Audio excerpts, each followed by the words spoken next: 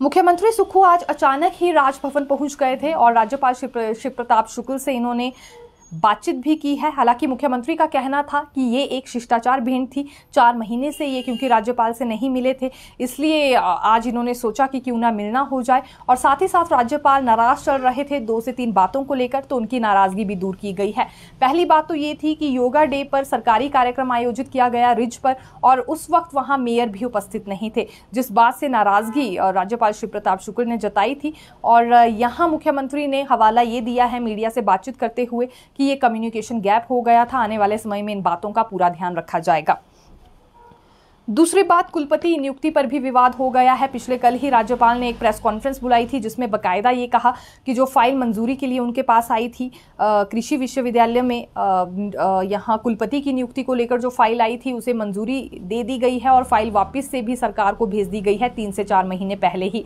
लेकिन कृषि मंत्री चंद्र कुमार को इस बात की जानकारी नहीं थी। वो बार बार पहले मीडिया को ये बयान दे रहे थे कि नियुक्ति का बिल पत्र अभी भी राज्यपाल के पास ही है और मामला वहीं लटका हुआ है, इसीलिए लिए देरी हो रही है। तो इस बात पर राज्यपाल श्री प्रताप शुक्ल ने पिछले कल नाराज़गी जताई, जिसके बाद आज मुख्यमंत्री सुखू उनसे मिलने गए थे और मुख्यमंत्री ने खुद भी इस बात को लेकर दावा किया है कि चार महीने पहले ही ये फ़ाइल सरकार को वापस लौटा दी गई है राजभवन से और ये विधि सचिव के पास है, लेकिन कृषि मंत्री को इसकी जानकारी नहीं थी। आने वाले समय में इस विषय को गंभीरता से लिया जाएगा और साथ ही साथ ये नियुक्ति भी जल्दी होगी, क्योंकि राज्यपाल भी चाहते हैं कि विश्वविद्यालयों में कुलपतियों की नियुक्ति होनी चाहिए और इसमें समय नहीं लगना चाहिए, इसलिए गंभीरता से इस पूरे विषय को लिया जाएगा।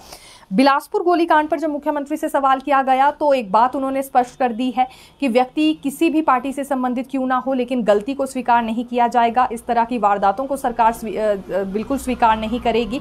और जो भी इसमें गुनेगार पाया जाता है पुलिस जाँच में उस पर सख्त कार्रवाई होने वाली है। फ़िलहाल पुरंजन ठाकुर का नाम इसमें क्योंकि बार बार आ रहा था और एक कॉल रिकॉर्डिंग भी थी पुलिस के पास लेकिन पुरंजन ठाकुर अभी तक पुलिस की गिरफ्त से बाहर चल रहे थे। दो दिन पहले की अगर अपडेट दे अब पिछले कल ही उन्हें पकड़ लिया गया है। बिलासपुर कोर्ट के बाहर ही उन्हें गिरफ़्तार किया गया। अब उनसे भी इस पूरे मामले में पूछताछ होने वाली है। जो बिलासपुर कोर्ट के बाहर गोलीकांड हुआ था, उसका मास्टरमाइंड जरा दरअसल यहाँ पुरंजन ठाकुर को माना जा रहा है, जो कि पूर्व विधायक बंबर ठाकुर के बेटे हैं और बंबर ठाकुर कांग्रेस से संबंधित हैं। यानी कि कांग्रेस पार्टी से संबंधित वो नेता हैं, इसीलिए मुख्यमंत्री सुक्खू ने बार बार ये चीज़ आज कही है और इस पर फोकस किया है कि किसी भी पार्टी से संबंधित कोई भी नेता क्यों ना हो। अगर वो गलत करेगा तो उचित कार्रवाई उस पर होगी। इस तरह की वारदातों को सरकार नहीं सहने वाली है। आज एक एच और नौ बी की ट्रांसफर्स भी हुई हैं और बारीकी से ये कौन कौन है, इनका नाम जानने के लिए आप अगले कल दिव्य हिमाचल का न्यूज़पेपर पढ़ सकते हैं। अब सबसे अहम खबर पर आना चाहेंगे क्योंकि बी की बैठक थी आज और एच में क्या क्या बड़े फैसले लिए गए हैं, ये जानकारी आपको दे देते हैं। सबसे बड़ी बात तो ये है कि पुरानी बसेस के स्थान पर अब 250 नई डीजल बसों की खरीद होगी। 50 टेंपो ट्रैवलर खरीदने का निर्णय भी लिया गया है। 105 करोड़ रुपए का खर्चा इसमें हो जाएगा। इलेक्ट्रिक बसेस को लेकर स्टेटमेंट पहले बार बार सामने आ रही थी और इसी बात पर काफ़ी वज़न भी दिया जा रहा था कि अब तो इलेक्ट्रिक बसेस की खरीद होगी, लेकिन यहाँ 250 नई डीजल बसेस खरीदी जाएँगी। अब देखिए इसके पीछे का कारण क्या है?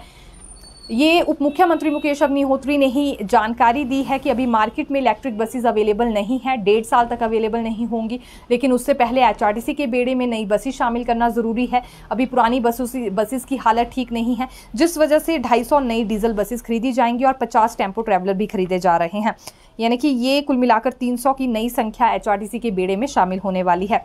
इसके अलावा 24 नई वॉल्वो सुपर लग्जरी बसेज और 50 टेंपो ट्रैवल जैसा कि हम पहले भी कह चुके हैं ये भी साथ ही साथ चलाई जाएँगी, यानी कि नई वॉल्वो बसेज भी अभी नई खरीद के साथ ही शुरू कर दी जाएँगी, जो अभी 250 नई डीजल बसेस खरीदी जा रही हैं। इसके साथ ही 25 नई वॉल्वो बसेस की भी शुरुआत होने वाली है। हालाँकि कितना ज़्यादा समय अभी खरीदारी में लग जाता है, ये देखना काफ़ी ज़्यादा रोचक रहने वाला है, क्योंकि हर बार नए नए दावे बी की बैठक के बाद किए जाते हैं।